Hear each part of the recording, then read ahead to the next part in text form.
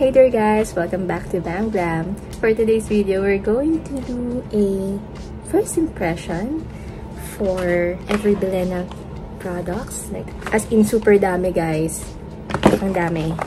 Ang dami. Like, wait, I'll show you. so here it is. I got a bunch of products from Every Bilena. Halos puno tong bag. I even got some products from Hello Glow as well.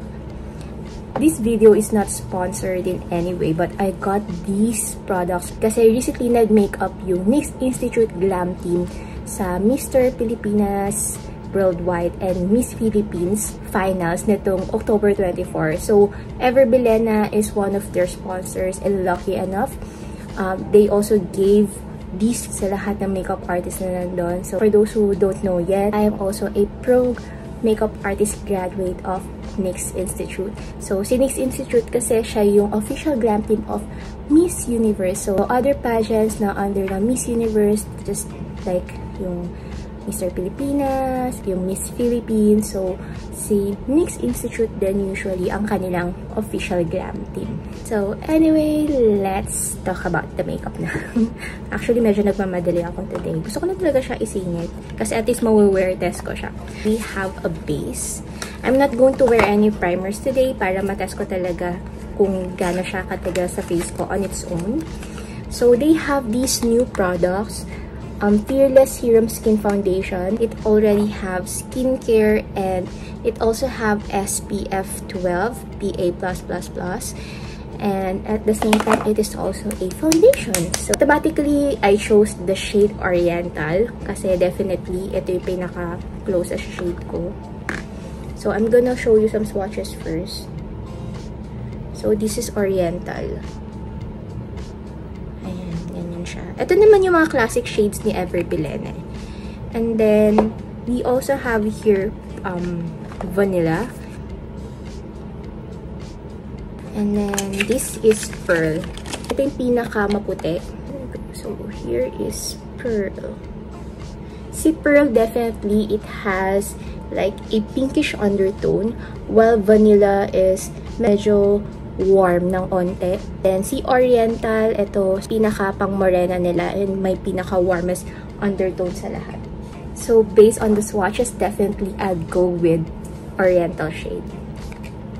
It says here that it's a Fearless Serum Skin Foundation. So, I'm not sure kung gaano siya ka kanipis sa skin. But, as you can see, hindi siya runny. I was expecting na it's runny kasi it says here that it's a serum foundation. But yung texture niya is parang medyo gel-like foundation. Ganon. So here, I'm gonna apply it all over my face. As you can see, may, a few blemishes here and there. Let's see if it can cover those blemishes wala tayong, uh, wala silang binigay na concealer. So, definitely, I'm going to use a different concealer for this one. Guys, first time ko talaga itong gagamitin ngayon. So, talagang yung magiging reaction ko dito is, you know, for reals. So, I'm gonna dampen my sponge using their um, Hello Glow Rose Water.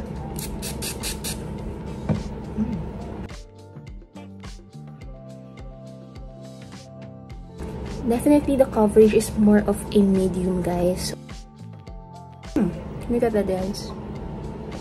In fairness, hindi man sobrang covered, but it was able to even out my skin tone, especially yung parts na may blemishes, hindi na siya masyadong kita. So, ako medyo okay na ako dito eh. Pero sige, try natin add another layer. Siguro kahit dito lang sa part na to, so that we can see if it is buildable. Onting-onti lang. Ganyan lang. Hindi na ako gumamit ng brush to compare the finish kasi lalo nagmamadali ako and I wanna see how it looks on my skin uh, using the method that I usually use. Guys, surprisingly, ang ganda nung ang ganda ng finish niya. Ang ganda ng finish niya and ang ganda ng coverage. Parang saktong-sakto lang, alam mo yon Madali din siyang i-blend. I think kahit kamay lang kaya to. Hmm. Grabe, natakpan niya yung ibang blemishes ko. Hmm. Nice. So now, since wala tayong concealer, I'm going to use a different concealer. I'll just use this one. Kasi recently, ito yung gamit ko, yung from You. Nutriwear Complete Cover Concealer in the shade Medium. Ano to? Maganda yung coverage na tong concealer na to. Fairness. Dito ko pa siya na-review. Pero maganda siya. Madalas ko rin siyang gamitin.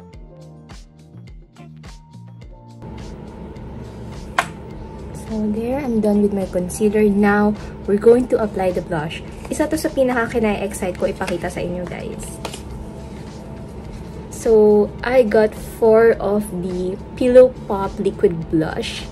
And I was actually planning to get this kasi meron ako nito nung nasa pot and I really like that kasi napaka-long lasting niya. So, I'm so glad that they also gave us this kasi I've been wanting to try this. So, yeah. We have the Fresno Toast of New York, their classic shade, and Raspberry and Rouge. So, I'm gonna show you the swatches first. So, this one is Fresno. Mmm. I like this. I like this. Ako, parang feeling ko tuloy ito yung gagamitin ko. The next one is Rouge. Ito talagang boom pack pink. Barbie pink siya, ganun.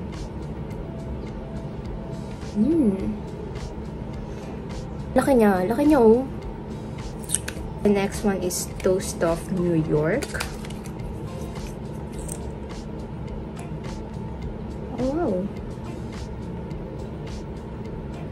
Hala, parang gusto ko rin si Toast of New York. Parang feeling ko bagay siya sa akin. Bagay ito sa Morena, definitely. Lalo ngayon, medyo nagtan ako ng onte kasi galing kami ng ano, galing kami ng outing.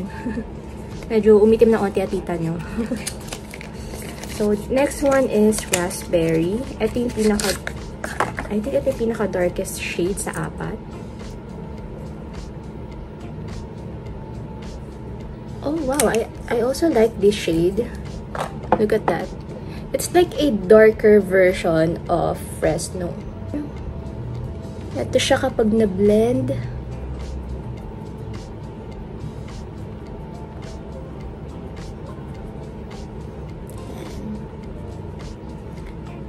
Ang ganda. Ayan siya. Ang ganda. Ang ganda nung... Sige. Convinced na ako. Kay Fresno ako. I'm gonna apply a dot over here. Fingers muna. Tingnan natin kung it, it can be blended using fingers. Oh, wow. Guys, ang bilis niya i-blend. And it is also quite pigmented. So, I think one dot is enough. Tingnan mo, ang layo na nang narating niya. wow. And then, I'll just blend the edges using this sponge. That? It's so easy to blend. And guys, be careful. I think talagang one dot lang talaga kailangan. Kasi ang pigmented niya. So, isang ganyan lang. Boop. Just a little boop. And then, blend it again with my fingers. Makeup beginners will love this. Kasi you don't need um, extra tools for it to work sobrang delicate fingers lang. It didn't lift the the base, which is good. Kasi may ibang um, liquid blush na nakaka-lift siya ng base. This one, it didn't. And it has this translucency in it. So, hindi siya ganun ka-opaque, meaning kita mo pa rin yung skin underneath kapag binblend mo siya. Mm. Ang lakas baka fresh nung shade ni ano, ni Fresno. Ayan, kita niyo ba? Umaliwanag na naman masyado. Wait lang tunan ko ng very light yan. Kita nyo.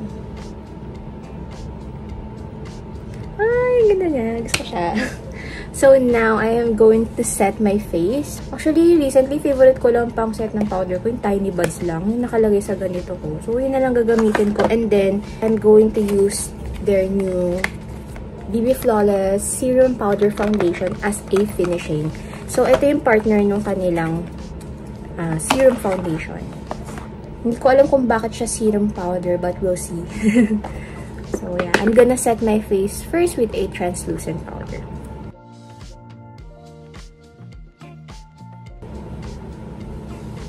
So, there. Na-set ko na siya ng translucent powder. Halos wala namang coverage. Actually, walang coverage tong powder na to. It's just a regular, parang siyang baby powder. Ano man. It's, ito siya. Parang napakita ko na to sa previous vlog ko. Pero, ito siya. Ito yung gamit ko pinang set ng powder. Pang baby powder talaga siya. So, anyway, now we're going to apply the serum powder. I don't know why it is called serum powder. Maybe because of its content. So it is it says here that it is skin blurring, oil control, skin brightening, infused with vitamin C, kaolin, and it has UV filter. So I got two shades. I have matte oriental and matte natural. I'm gonna show you swatches first. Matte natural. And, and so meron siyang lagay ng sponge sa and a mirror. So, oh, wow! Mm. Nagulat ako, sorry. Nagulat ako pagka, ano ko, pagka swirl ko, sobrang smooth. So, yan. Definitely, this is not my shade. This is leaning towards a more pinkish undertone. And, let's try the matte oriental. Sorry, nagulat talaga ako dun sa texture niya pagka-swatch ko. It feels so smooth. So, this is the matte oriental. Ang smooth talaga, I swear. And, so, here is matte oriental. So, yeah, this is a lot warmer. But I think this is too dark for me. But I'll still try it for the sake of trying. So, I'm gonna, siguro I'm gonna apply it over here. And I can see na ang pino niya, sobrang I don't know if you can see it from the camera. Sobrang pino niya. Surprisingly. Oh my, I'm gonna try it here. Since medyo visible pa iba blemishes. Maybe the powder foundation can cover it. So yeah, buti dito ko nilagay kasi I can see that it's a little too dark for me.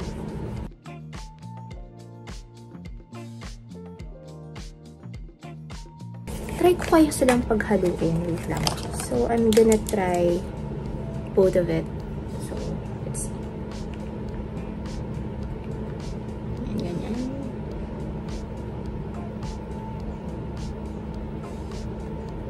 Dito sa nose. Kasi I wanna see the oil control power of this powder. Kasi it says here that it, it is infused with kaolin. Oh yeah, it really does have that skin blurring effect and I can totally see it. Kasi I didn't use any primer eh. So I really don't have very visible pores. But it did make my skin look smoother. I'm going to add a little bit of bronzer. They didn't give bronzer, so I'll just use this one from Vice.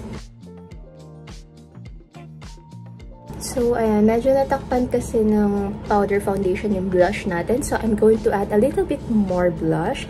I'm gonna use this one from Caroline and this shade is Rosy Cheek.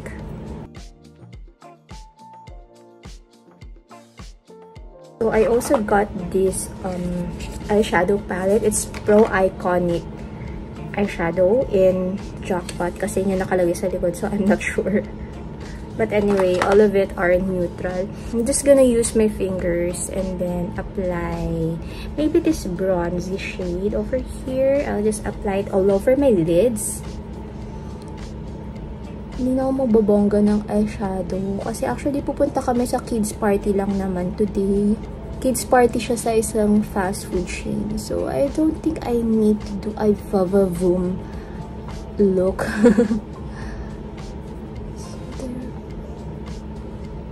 Hindi siya ganun ka-pigmented, guys. So, although this one, I don't think this is a new release from them. Alam ko medyo matagal na to sa kanila. It is barely showing on my eyelids, so I think I'll just use a different eyeshadow. So there, now I'm done with my eyeshadows, just one tone eyeshadow and just blended it with a brush.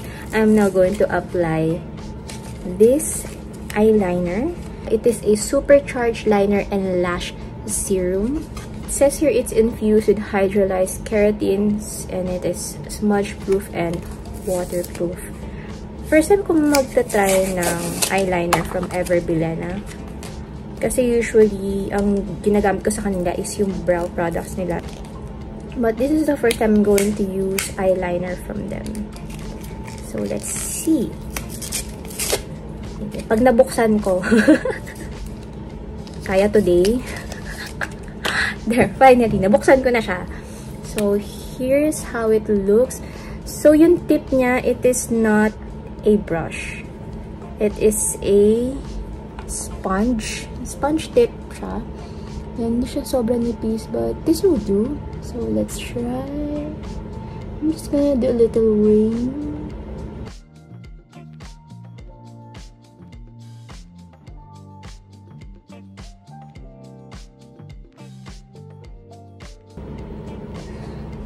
I'm having a hard time creating a very sharp line for with this one kasi nga is a felt tip.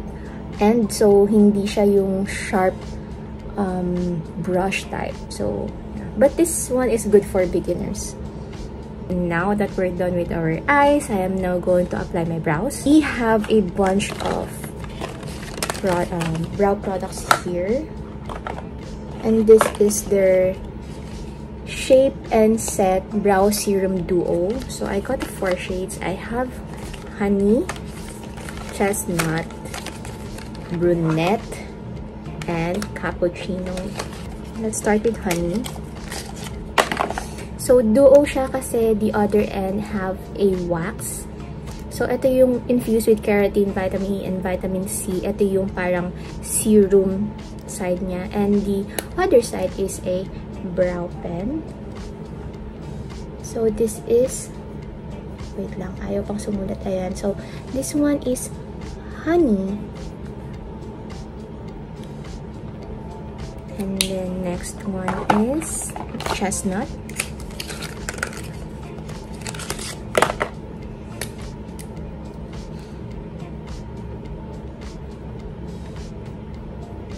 So, this is chestnut. Medyo may pagka-reddish undertone si chestnut. By the way, guys, yung pencil is like a triangle shape. So, this type of brow pen, um, maganda siya for beginners. So, this one is brunette.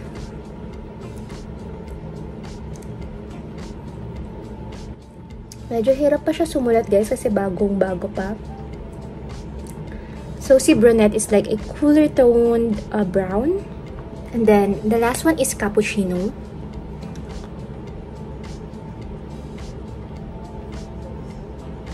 So, there. So, this is honey, chestnut, brunette, and then this one is cappuccino. These two have reddish undertones. And etong dalawa naman is more of a taupey shade or cool toned brown. Here. I'd go with brunette muna. Let's see.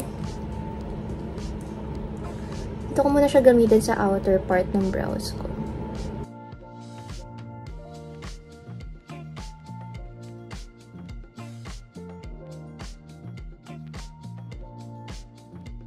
So, I think this one is really good for beginners. So, madali siyang gamitin, sobra.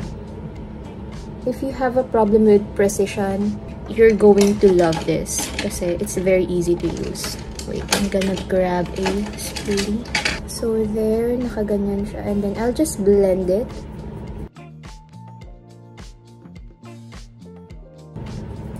And then brush it with a spoolie.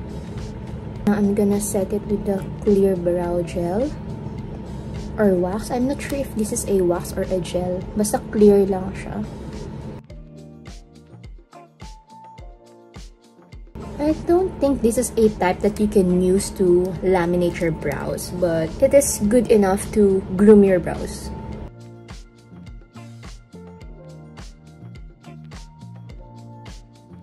Medyo hard yung formula niya. Although to some people, they like that. Ako, I personally love hard type, uh, the hard formula na brow. Some people like it a bit more creamier. Kasi parang I don't know, it's it, it's your preference naman eh. But for me, I like the formula. I like the fact that it's hard formula. I do like that kasi it gives you more control.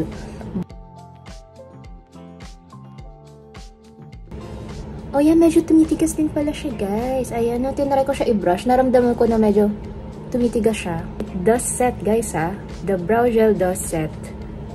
Oh, nice. I didn't expect it. Akala ko parang wax type lang siya. But apparently, it is actually a brow gel talaga. Ah, it's a brow mascara na clear na nagsaset. Tumitigas siya. Now, we're on to our mascara. So, they also gave us this mascara, the All Day Fiber Max Mascara. It says here that it keeps curl all day. It is smudge-proof, waterproof, lengthening fibers infused with vitamin E. So, here's how it looks. And my lashes. So, here's the wand.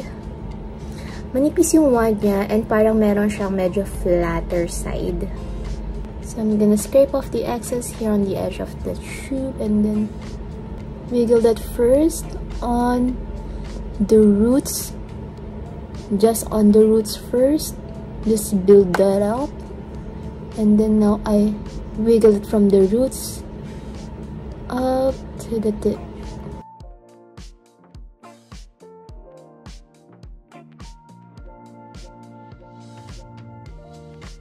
I like the wand because it's a really nice wand for the lower lash. Look at that. It can actually grab every hair. Hmm, I like the size of the wand. Especially for people who have eyes like mine. Yung medyo... Hindi naman, I cannot consider na talagang chinita ako. But my eyes are not that big as well. I don't know saan nakakategorize yung eye shape ko. But my eyes are not that big and they're also not very chinita but they're quite you know a little bit elongated so there there that's the first coat of the mascara I think it did weigh down my lashes medyo nawala yung curl uh, if I added another layer it can definitely build volume but I'm already happy with that I'm not going to add any more so now let's proceed to the lips. So I have six lippies and these are their K-Beauty lipsticks. So I'm gonna swatch everything. Let's start with the Paradise Nude. Here it is, Paradise Nude. A really nice, like a peach tone. Auburn Delight.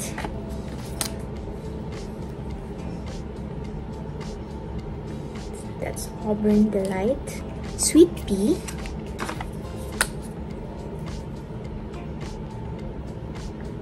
Maple Candy. Here's Maple Candy. Daily Coral. So this is Daily Coral. I'll just switch it over here. There. For the last one, it's Marshmallow Berry.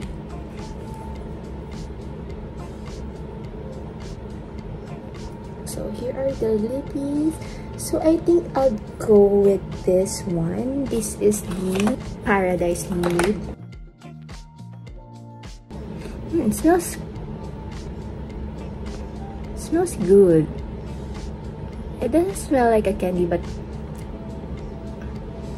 it smells like a bit of candy but not the typical candy scent it smells yummy yun na lang It's very smooth to apply. It's very, it is opaque. I like it. But I think it will look better kapag merong lip liner. But I like this color. We also have their lip oils. So it says here it's a serum tinted lip oil which is moisturizing, lightweight, and long-wearing with fresh natural stain infused with shea butter, argan oil, and vitamin E. This one is the glass slipper. This one. So this is, I think, clear. And it changes its color magiging pink siya. So, ano rin siya, magic. It's like a magic tint. So, it will turn pink pag in-apply mo siya. This one is the Rock and Red. Here it is. Oh, I kind of like this color. I'll use it next time. It's like tomato red, but it looks nice. I like how red it is. And this one is the burnt caramel. Oh, it's I didn't expect for the burnt caramel to look like this. Wow, medyo nudish pink yung shade niya. Ah, I love this color. Oh my gosh. And then this one is Toast of New York. Again, it's their signature color or shade. There. Last but not the least, I'm going to show you their highlighters. I have the shade Spotlight and Strobe. This one is the Strobe. It has a ano, typical golden undertone. So, here is gold. I don't know if you can see it kasi masyado siyang match sa skin tone ko. And then, this one is the spotlight. Here, here's the spotlight. Medyo mas champagne naman siya. So, this one is strobe and this is spotlight. So, I'm gonna apply it on my face na using a small fan brush.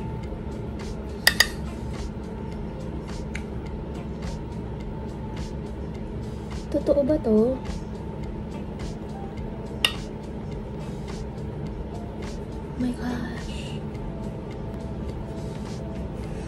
Totoo ba to? Highlighter to na Ever Bilena.